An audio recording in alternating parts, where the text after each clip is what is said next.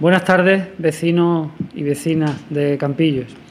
Nuevamente, ya hace tiempo que no, no, nos comunicamos, que no hablamos, nuevamente, como decía, me pongo en contacto con todos y todas vosotras con el objetivo de, bueno, de informar eh, una parte informativa con respecto a las nuevas medidas que ya conocerán, pero que es importante que también la conozca de primera mano, en este caso del alcalde y del propio ayuntamiento, y también de algunas eh, consideraciones y, algunos, algunas peticiones que incluso desde la propia Delegación de Salud nos han hecho. Bien, como saben, la situación pues, eh, se ha complicado, se ha complicado hasta unos límites que ya nos ponen en situación de nivel de alerta 4, riesgo 1, que ya es muy importante,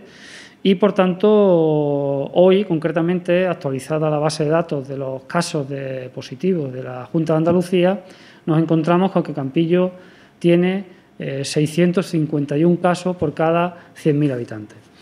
Implica que en los últimos 14 días han detectado 55 casos positivos y que en, los últimos, eh, que en la última semana 36, lo cual es una, una cifra eh, complicada, es una cifra que es, mm, hay que tener en cuenta y por tanto es peligroso. Por tanto, nos situamos en este nivel, en este umbral en el que hay que extremar las medidas eh, de seguridad. Como ya saben, a nivel general,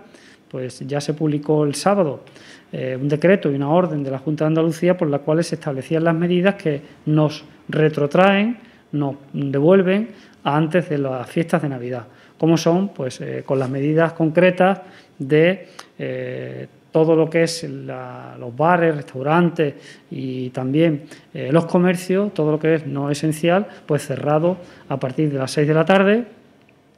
las reuniones de personas, ya que antes eran de 6, ahora bajan a 4 y el toque de queda se mantiene en la misma hora inicialmente, de 10 de la noche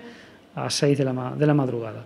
Digo inicialmente porque el Gobierno de la Junta de Andalucía, como ya saben, ha solicitado al Gobierno eh, que se pueda retrasar este, este, toque de queda a las 8 de la tarde, pero eso tiene que ser autorizado por el Gobierno. Por tanto, estas son las medidas informativas, que en cualquier caso, la más relevante a día de hoy, que no se cumplía el sábado cuando salió publicado esta, esta, orden, este Real Decreto, es que Campillo no reunía esos requisitos de tener eh, de ser un municipio que tenía 500 habitantes por cada 100.000 habitantes para eh, decretarse, de alguna manera, el confinamiento perimetral del municipio. Hoy sí lo reunimos. Y como ya he dicho, estamos en 651 casos por cada 100.000 habitantes y eso implica que reunimos esas condiciones para que el municipio esté en confinamiento perimetral. Es decir, que no se puede salir ni entrar al municipio salvo por las causas que ya saben que son justificadas.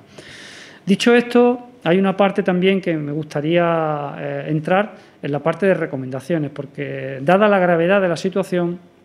el pasado jueves Tuvimos una reunión con el delegado de salud, el cual nos invitó, en este caso, a los alcaldes y alcaldesas de la comarca de Antequera, de La Vega, el distrito sanitario eh, La Vega de Antequera, en el cual nos, eh, nos comprometimos con él, eh, con la autoridad sanitaria en definitiva, a pediros y hacer algunas recomendaciones. En primer lugar, y muy importante, puesto que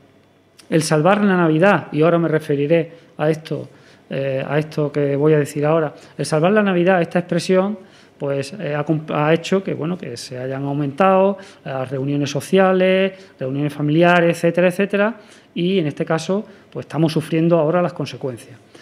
Eh, nos dicen y nos recomiendan desde la Consejería de Salud, el delegado de Salud en concreto, que se pida a la población, y yo así lo hago, que se ralentice o incluso se pare eh, las reuniones sociales, las reuniones familiares incluso, porque en definitiva, dada la situación de gravedad, este pico que tenemos ahora mismo se puede ver aumentado a un número exponencial y dentro de 15 días que podamos eh, pagar ese precio. Por tanto, eh, planteamiento es que se ralentice todo lo posible y, si, yo ruego y pido y solicito que se ralentice todo lo posible las reuniones sociales, las reuniones familiares, incluso que se paren, porque estamos en un momento de especial gravedad que están hablando de que puede ser el peor momento de toda la pandemia. Ya llevamos 10 meses con esto, ya hay que pensar un poquito en lo que estamos haciendo. Y digo esto a nivel general. En segundo lugar, que se eh, que, tengamos eh, prudencia extrema en cuanto a nuestra, a nuestra vida social. que, por supuesto, pido responsabilidad. Decía el delegado el otro día en la reunión que en este momento en el que estamos, para que nos hagamos una idea de la dimensión del momento en el que estamos, decía el delegado que en este momento dos personas es multitud, con lo cual hay que tener muy en cuenta esto que se está diciendo y todas estas medidas que debemos extremar, que debemos respetar las normas, que incluso eh, quien quiera ir a un establecimiento, a un bar, a un restaurante, que haga el máximo tiempo posible el uso de la mascarilla, porque es una, forma de prevenir eh, el poder contagiarse. Y, por supuesto, todas las medidas higiénicas, seguir lavándose las manos, etcétera, etcétera. Pero es muy importante todo esto porque al final eh, es lo que va a hacer que evitemos las situaciones de riesgo. También eh, decir que tanto nos decía el delegado que recomendemos y pidamos que tanto los positivos como, como los eh, contactos estrechos, los contactos directos, pues que respeten los confinamientos. Digo que aquí se han dado casos de, de personas positivas, que habían dado positivas, que estaban en establecimientos públicos, o sea, que no estaban respetando el confinamiento. Y esto me parece especialmente grave. Por tanto, pido que quien así sea, por supuesto la policía va a velar porque eso sea así, pero sobre todo los contactos estrechos, pues eh, que por supuesto y por favor eh, eh, guarden el confinamiento. Y quiero también aprovechar una parte para, además de esta, de esta información que he dado y esta mm, petición de responsabilidad, de cautela y de prudencia extrema, en nuestra vida social, en nuestra vida familiar eh, y, en la aplicación y en la guarda de las medidas de seguridad, quiero aprovechar también eh, este, una parte muy pequeña de este, de este comunicado para eh, manifestar mi más absoluto apoyo a lo que es los establecimientos pequeños, los comercios, los comercios pequeños y los comercios medios, porque son eh, grandes cumplidores de las medidas de seguridad y eh, por salvar la Navidad hemos visto las grandes masificaciones que se han producido en las grandes superficies, en los grandes establecimientos comerciales, en los grandes supermercados. Por tanto, eh, ahora mismo ahora están pagando todos. Cuando los pequeños han sido y son los que cumplen con el máximo rigor las medidas de seguridad, eh, el por salvar la Navidad ha visto que se produzcan aglomeraciones en muchos otros espacios, grandes superficies, y ahora eh, están pagándolo los pequeños otra vez con la situación tan complicada que tienen en muchos municipios y ciudades de España, porque ahora se están viendo obligados, los desmanes de las grandes superficies, se están viendo obligados ahora todos ellos a cerrar a las seis de la tarde. Por eso digo que mi más absoluto eh, apoyo al comercio, al pequeño comercio, al comercio medio, porque lo están haciendo con un escrúpulo muy importante, respetando las normas de seguridad muy importantes y ahora están pagando también las consecuencias de ello cuando los desmanes del salvar la Navidad, que decía el presidente de la Junta, se ha producido en otros, en otro, en otros establecimientos. Por tanto, estas son contradicciones que desde luego eh, desaniman mucho y minan mucho la, la moral de, la, de las personas. Y como, como decía antes y vuelvo a decir, el salvar la Navidad nos ha traído ahora mismo eh, esta consecuencia que ahora están pagando pues, el pequeño eh, y el medio comercio sobre todo, y aquí le muestro mi total apoyo. Y decir para terminar que son momentos muy complicados, son momentos muy complicados y que se pueden complicar eh, aún más.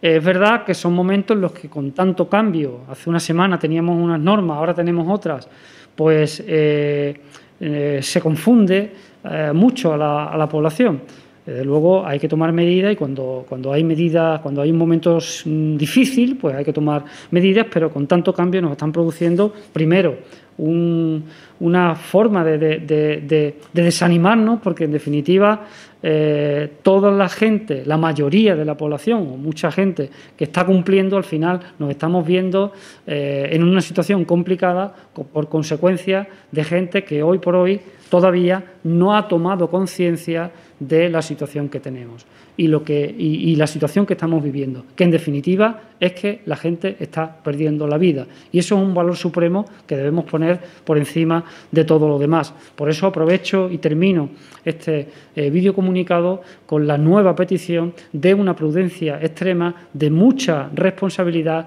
de que se pare y se ralentice mucho la vida social, eh, no digo la económica, porque la económica debería seguir, pero con cautela podríamos compatibilizar las dos, pero que se pare y que se, que se ralentice mucho la vida eh, social, las reuniones, como he dicho anteriormente, las reuniones familiares, las reuniones sociales, que es donde más se están produciendo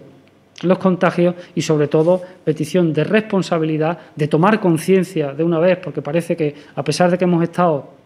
tres meses en nuestro domicilio, que debería de habernos servido de, elección, eh, pues parece que no nos ha servido y nos encontramos ahora en una situación peor incluso que cuando hemos estado confinados en nuestro domicilio. Por eso, desde la responsabilidad que todos tenemos, yo, como alcalde, pido que, sé que mucha de la población eh, son responsables y eh, acatan las normas y las guardan con, mucho sigilo, con mucha cautela, eh, esto debería ser extensible al máximo de la población y, por tanto, pido responsabilidad, pido toma de conciencia de la situación para aquellos que todavía aún no la han comprendido y no la tienen y, sobre todo, que pensemos en el bien común y pensemos en el bien de los demás. Buenas tardes.